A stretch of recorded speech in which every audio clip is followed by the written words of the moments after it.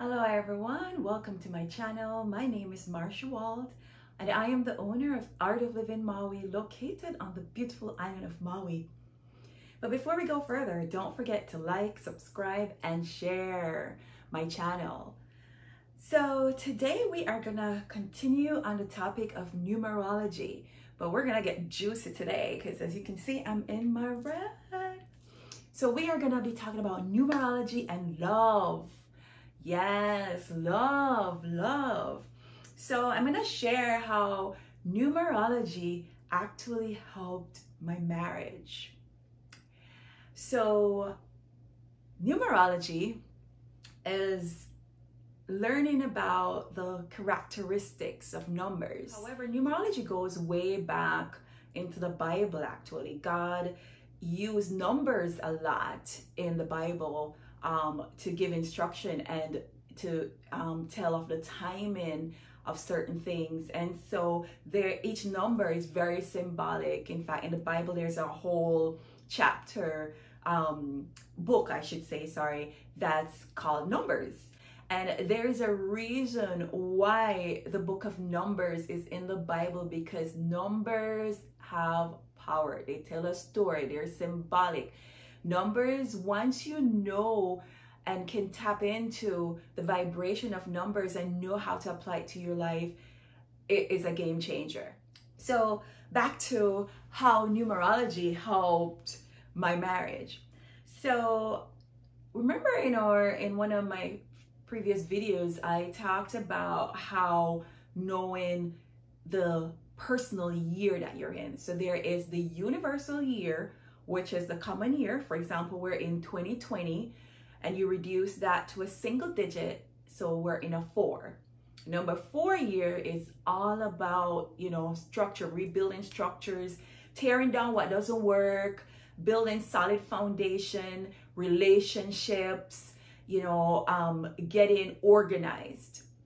And so this year, you know, it's about that. And then based on our birth numbers, we also have a personal year. So we have a universal year and we also have a personal year. So there's the vibration of the universal year that influences our life and our personal year also influences our life.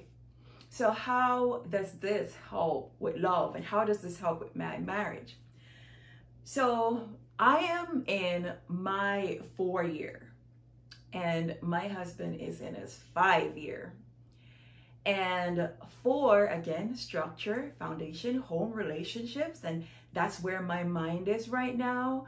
But my husband is in a five, and five is about change and freedom. And I want to be new. And, you know, so I noticed that, you know, he changed his wardrobe, you know, and that's the first sign you're looking at. Mm-hmm. Change the wardrobe. Hmm.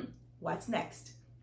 And, you know, he's paid more attention to his his body he's working out more, he's getting all buff. And I'm like, hmm, okay.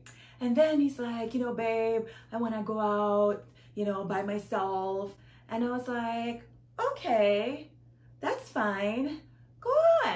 Explore. So this, he started his personal year. It started when his birthday was last year, 2019. So um, 2020, so he's going through his cycle. So I want to say thank you for the C19 crisis to kind of calm him down. No, it's okay. So, you know, I'm okay with my husband having the space to do, you know, his pursuit, what gives him joy. So going back to how numerology helped me. When I saw all of these little signs, you know, I started to, you know, the first thought you're thinking is like, hmm, is something up? And that's when I pulled my numbers. I said, oh, let me check to see what his personal year is and what's going on. Thankfully, I did that. Thankfully, I had numerology to provide me with some guidance apart from my intuition.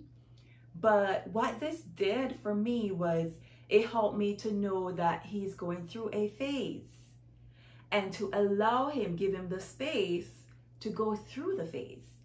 So, you know, look at how many people where they have these scenarios where they break up and then they get back together a year later or a couple months later they want to get it's the stage that they're in. The phase will change because he's in a five and he wants change and freedom, but then his next stage is a six, which is family again and wanting that home and relationship is really important. And people that are in their year six, oh, getting married, getting in a relationship is like the forefront of their mind because six brings out the nurturer. Six people are very nurturing. They care about others more than themselves. They are the the mom, the Christ-like energy of the sixes.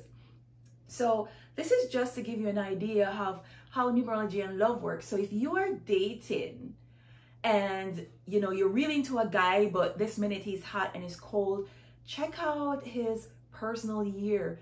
Find out what his personal year he's in because that will save you a lot of heartache or will help you to know how to navigate the relationship. Because it could be that it's not that he doesn't want to be with you it could be the energies that are happening the vibration of the numbers that he's in. So um, i hope this tip helps don't forget to like, subscribe, and share my channel and leave comments below. You know, if you have questions, go ahead and leave your questions. I will definitely answer and share your thoughts on this topic as we dive deeper into numerology, the game changer. Stay tuned for more. Thank you again for joining and showing up today. Malama Pono Aloha.